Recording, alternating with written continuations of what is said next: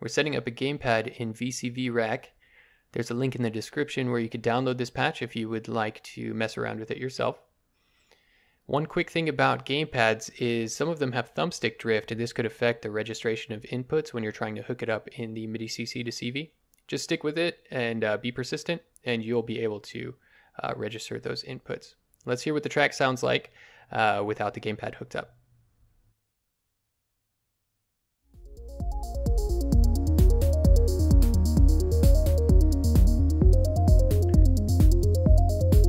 Gamepad up. First things first, bring in a MIDI CC to CV and set it to gamepad. It's going to recognize the uh, gamepad you have hooked up right away. All channels is appropriate on this third line here. And now we're going to edit the uh, grid here. Each cell is associated with a port on the bottom. So the top left cell is associated with the top left port and so on. You just click in the cell and then pull the trigger or press the button or move the thumbstick associated with um, the control that you want to utilize. We then just pull a cable from the port and put it into any other port and we can then modulate that function. Here's one that I really like. This is an arpeggiator. I'm going to put a cable into uh, the pattern CV and also the octave CV. I'm going to use the right thumbstick um, this is cool because then you can move the thumbstick all the way around in circles and uh, get a lot of cool different patterns and octave combos. So like I said, you just come up here, find where you have your thumbstick put in and just drag it in, plug the cable in and you're good to go. Let's see what that sounds like.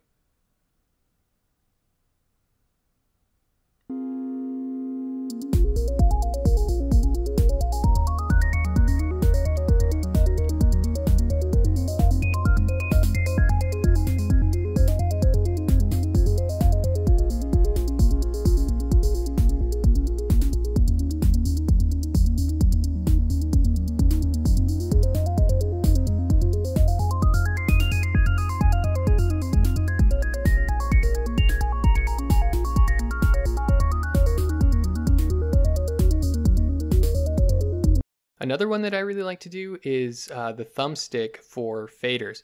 So you just drag the cable into the line input and uh, when it's red, that means there's no control voltage coming out. So that's going to be the fader all the way down. And when it's green, it's going to bring the volume up to where you have the fader set on the mixer. Um, I'm doing it right now for the uh, kick and the snare. And this is, this is pretty cool. I like how it sounds. Let's listen to it.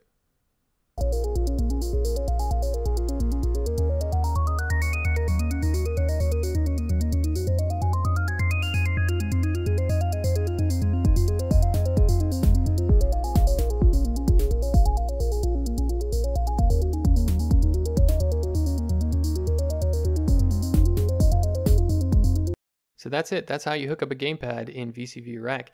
You can now modulate all sorts of different parameters utilizing a just a basic controller.